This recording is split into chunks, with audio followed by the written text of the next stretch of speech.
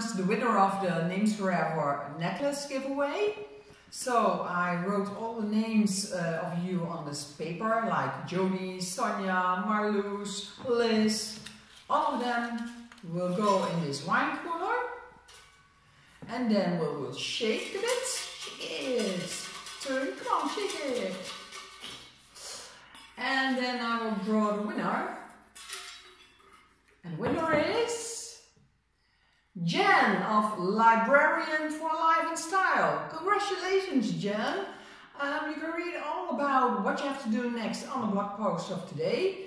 And don't forget to uh, give me the name you want for this necklace because perhaps you want to give it as a gift. Okay, thanks for all uh, you contestants and have all a great weekend.